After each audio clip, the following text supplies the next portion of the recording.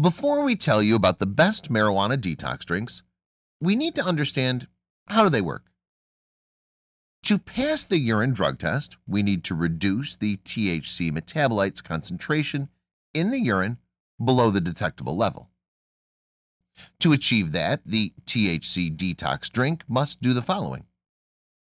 It must provide a fast energy source. This stops the fat burning process temporarily and no more metabolites are excreted into the blood and urine. It should make you urinate frequently. So THC metabolites are flushed out of the bladder and their concentration in the urine goes down. It must interfere with enterohepatic circulation. So the THC metabolites in the intestines are not reabsorbed back into the blood and not excreted through the urine it must inhibit the activity of CYP and UTG enzymes. This will slow the THC's metabolism and reduce the THC's excretion through the urine. So, what are the best THC detox drinks that meet these conditions?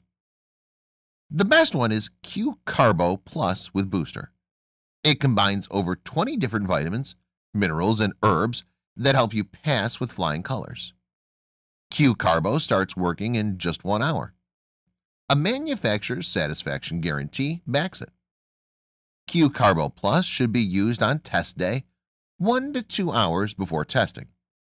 Simply drink it with all four Super Boost tabs and some water. Q-Carbo 32 This drink is powered with a unique mix of vitamin C, B vitamins, creatine, and Eliminix Plus blend. Eliminix Plus Blend is a blend of guarana seed extract, echinacea extract, milk thistle extract. It quickly flushes all toxins from your urinary tract and helps you pass a urine drug test. With Q-Carbo 32, you don't need to drink extra water. Just shake it and drink. And the last product in our list is Vale's 4X solution. Vale Solution 4X is created for people who weigh over 200 pounds and for heavy smokers. It contains 50% fewer carbohydrates than the majority of popular detoxifying drinks. It starts working in one hour and is effective for up to five hours. To read more about any of these products, click on the links under the video. If you missed anything or have any questions, please leave a comment and let us know. Hit the like button if you found this video helpful. If you want to learn more about passing a drug test, subscribe to our channel for more videos like this one.